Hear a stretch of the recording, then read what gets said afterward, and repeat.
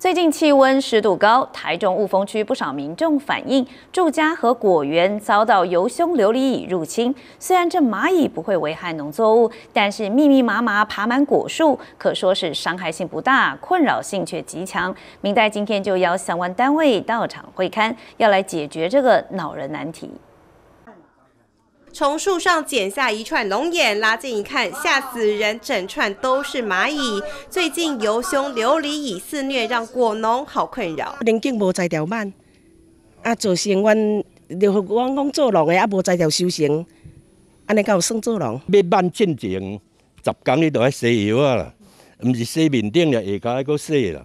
啊，你十工内你都要紧来甲慢刷，无你无咋慢嘛。阿松，这是足严重的问题。不止果树遭殃，地板上、记者脚边更是密密麻麻，就连民宅里面也不例外。虽然这种蚂蚁啊对农作物没有危害，但扰民这点就真的很头痛。今年年景马龙生了袂歹，但是因为有这这琉璃蚁甲包围掉了哦，根本无在来采收，无在来采收，无法度无法度收意外，搁而且为了在社区去啊。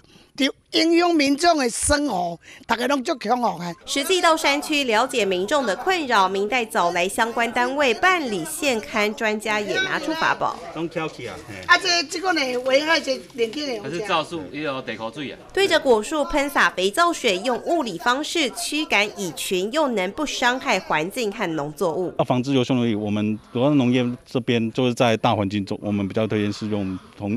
硼砂耳机再就是用皂素，建议还是如果有在呃经营的果园哦，在前期，尤其是呃荔枝龙眼刚开始一二月的时候，啊，必须要做好前期的清源的管理。专家实际到现场宣导正确的防治观念。由于这种蚂蚁会食用蚜虫和介壳虫分泌的蜜露，建议农民就要加强农地管理。跟中央研究单位这边哦来。请他们协助，看有没有好的这个防治方法。第二个就是，我们也想，就是这个整个的耕作习惯，我们怎么样来跟我们的农友去做哦，这个教育，怎么让这个环境更适合其他的天敌，或者是哦，让这个蚂蚁的密度。往下降。透过环境教育方式改善蚁害问题，并加强田间管理，减少共生害虫。后续农业局也会持续严拟对策，来协助农民解决这个恼人的问题。